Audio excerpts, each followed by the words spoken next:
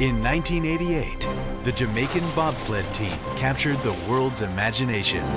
But on the other side of the mountain, the ultimate underdog was attempting the impossible.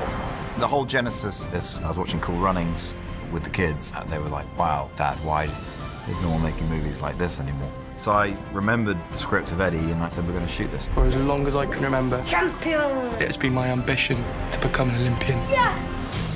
Eddie, you are not an athlete. Eddie the Eagle was a legend. You name me one British ski jumper. Me, Eddie Edwards. He's someone who had this idea, this great reverence for this event and this institution, and wanted to be a part of it. Britain hasn't had a ski jumper since Hector Mooney. And there's no plans for a team in the near future? Well, not unless Mr. Mooney comes out of retirement. But he died in 1975, so no. He had a go at the most crazy, almost suicidal event in sport. Any tips then? Don't die.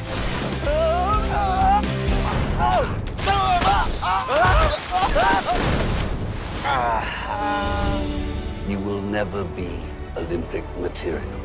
He embodied the everyman spirit of just go for it, just live your dreams. He trained and he got there. He created a storm. I didn't come here as a fool. And I will not be going home as one. Everyone loves a fighter. Everyone loves a chancer. As your coach, I think you're crazy. But as your friend, Fly. You're Eddie the Eagle, man. Bandy's off.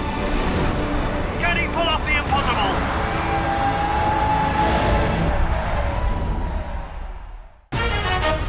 Britain hasn't had a ski jumper since 1929. I'm going to be a ski jumper. He's gonna break his neck. I'm gonna break his neck.